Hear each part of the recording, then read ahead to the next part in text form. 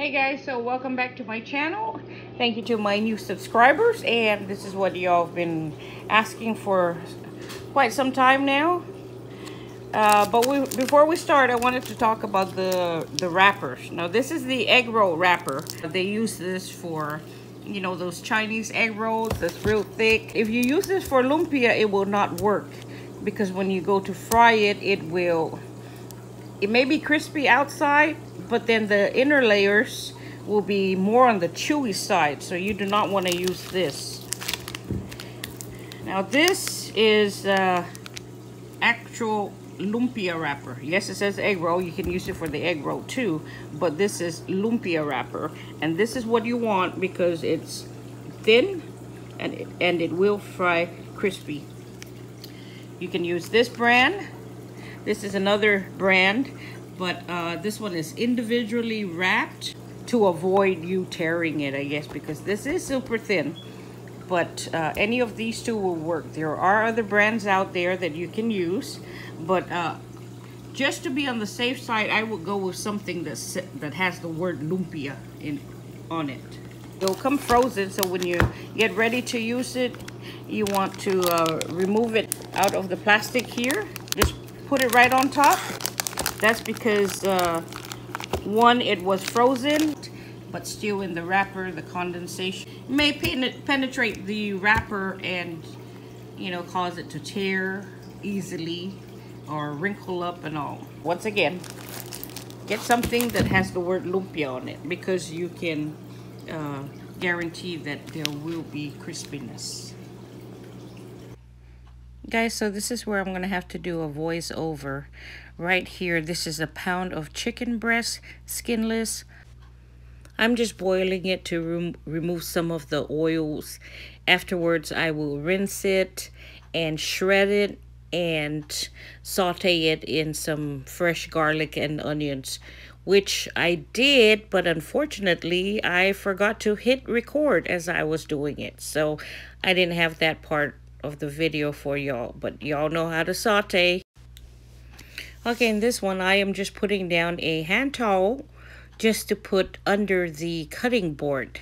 This will prevent the cutting board from sliding all over the place while I'm slicing and dicing and chopping up the, the vegetables.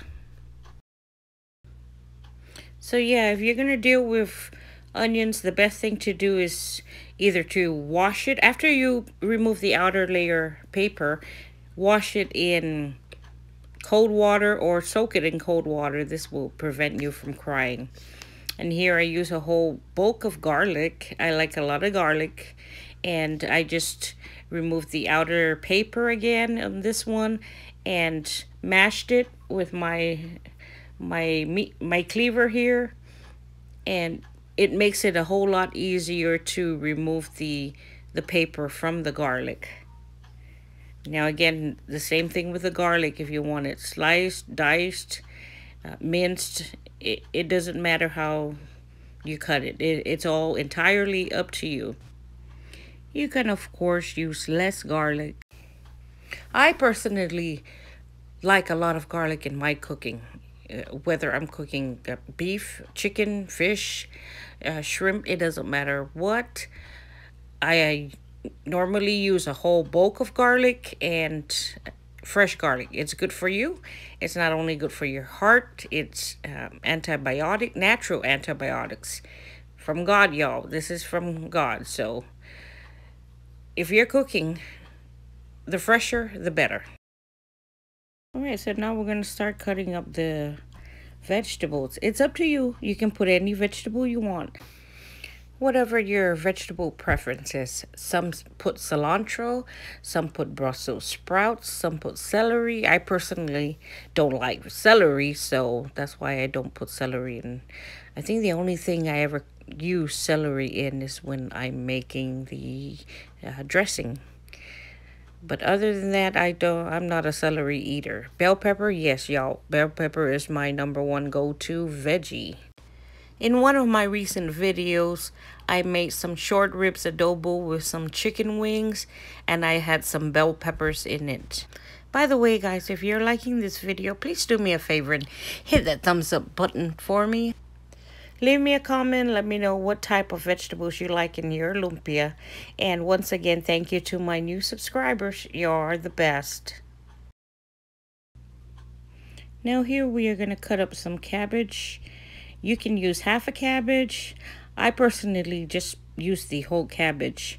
I cut it in half and then I cut that half into quarters. It's up to you, whatever your preference is. If you prefer diced into small pieces or if you like it julienne style, long and thin, diced up, there's no wrong way to do it. Whatever your preference, I just like it this way. I do apologize for taking a while to get this video out to y'all. It's just been one hurdle after the other. First, I didn't have any lumpias in this area. The closest place would be in Jackson, which is about a two-hour drive. But my mother-in-law went to the commissary and she found some in at the commissary and she picked some up for me. So thank you again, Mommy O. Then I tried to record the video and you got someone in the background just yapping up a storm or watching TV. But it's not a problem because I can always do a voiceover as I'm doing right now. And I hope you all don't mind it. So this is the finished product after sauteing the shredded chicken with the garlic and onions. And here I am mixing all the vegetables together. This is the cabbage, the shredded cabbage. The bell peppers.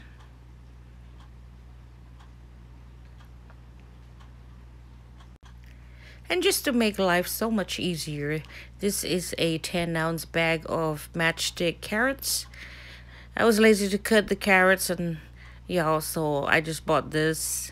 This is the lazy way, and I just used half a bag, so about five ounces. Just threw it in, mix it all together. Then here, I'm removing the sauteed chicken. I'm throwing it into in together with the vegetables. This is where I will be mixing it. I put in the black pepper.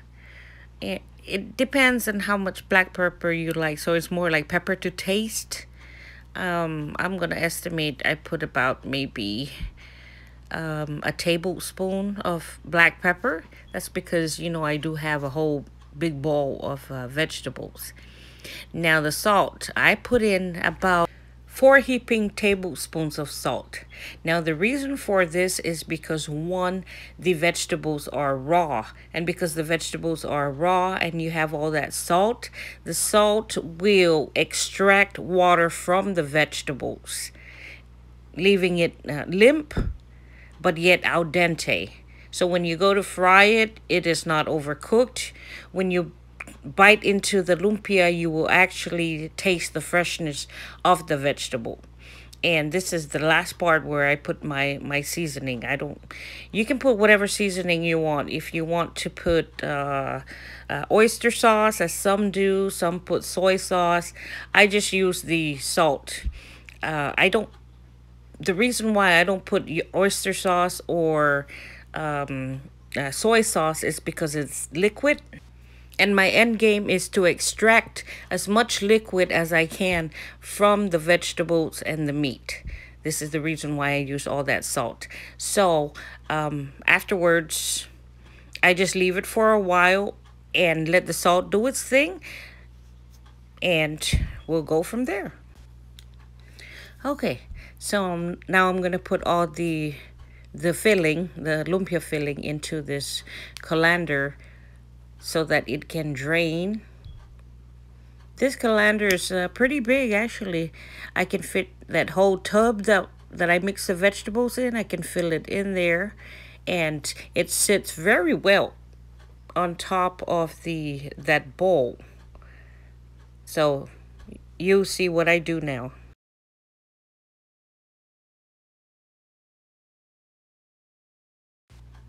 So what I'm going to do is take this colander filled with all the vegetables in it, put it in the bowl that fits perfectly, leave it in the refrigerator uncovered for about let's say four hours. Now you can see that the bowl is empty. So after four hours, I'll bring it out. Okay, so if you don't extract all that water from the vegetables and you don't drain this, then all that water will sit in together with the vegetables. So when you come wrap to wrap it, the wrappers will get too wet that it'll be that it will tear easily. So the reason why you want to put it in a colander and then put it in the refrigerator for about three, four hours is to get rid of all that water. Okay, so when you get rid of all that water, here, I'm gonna go ahead and spill this out. I'm using one hand, y'all, so y'all have to forgive me. All right. Okay. Now, remember, these vegetables are still raw. I did not cook these. Now, the reason why I do not cook my vegetables is because I like them al dente.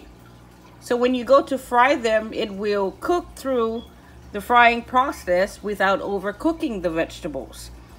The whole reason for all the salt in here is because the salt will extract the water from the vegetables, which will um, kind of like soften the vegetables without cooking it because you will cook it when you fry it. After biting into the lumpia, after frying it, you will taste the freshness of the vegetables. It'll still have the al dente consistency without being overcooked. And now the wrapping begins. So this is the second wrapper that I showed you, or the first lumpia wrapper that I showed you, which is my favorite actually. I use this because um, after I, I fry it, I will show you the difference between how this looks and the one that is individually wrapped. But this is my my go-to wrapper. So I try to get the same amount in every, you know, the same amount of filling in every um, in every wrapper just to try to keep the size uniform. Also, as you can see, I am using eggs on it. This is a, I just cracked one egg into the bowl here and um, you don't have to use eggs. Some use milk, some use just plain water. Some even take flour and dilute it with some water just to give it kind of like a pasty consistency to use that to seal the wrapper. There's no wrong way. I ain't knocking anybody. And, uh, but my preference is just um,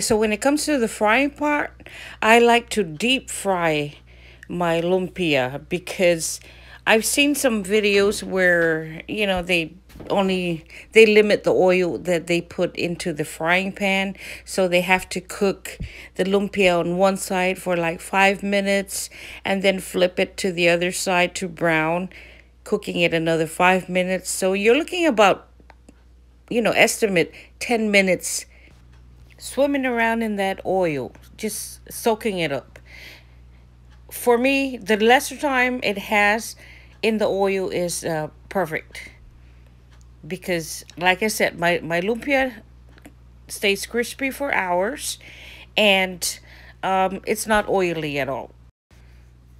And while this batch is cooking up, I just wanted to once again thank you all for subscribing, for hitting that like button, for leaving a comment, and suggestions or um, hitting that notification bell, sharing it uh, with your friends and family.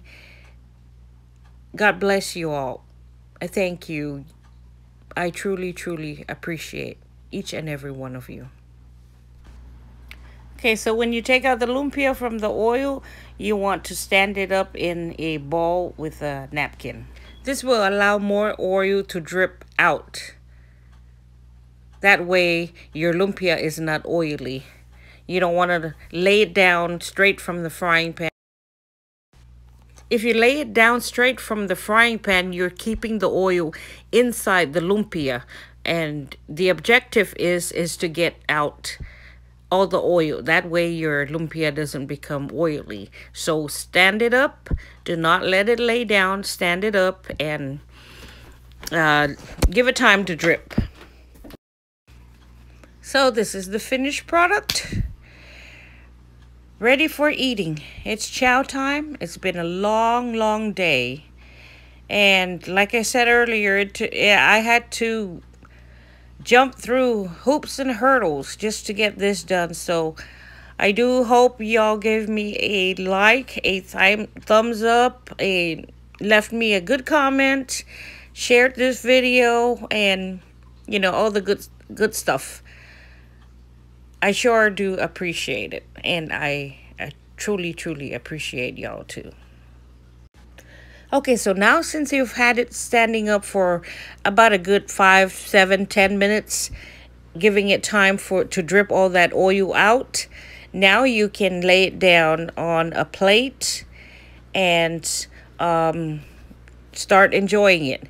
Now, I do want to give you a tip. Whatever you do, do not wrap the lumpia in the saran wrap, then plastic wraps, the foil. Do not wrap it while it's still hot or warm because the condensation or the heat, you know, the heat rises. The heat will rise into the plastic, the saran wrap, or the the foil, and it will, um, you know, produce a condensation which will turn around and uh, drip back into the lumpia, which will make the wrapper soggy. So while it's still warm or hot, don't wrap it. After it cools off, if you need to wrap it, like say you're bringing it somewhere, put a paper towel over it and then you can wrap it. That way, if there's any condensation, instead of the water dripping onto the lumpia, it'll drip uh, you know, the, the paper towel will catch it. All right, so this concludes this video. God bless you all, and thanks for watching.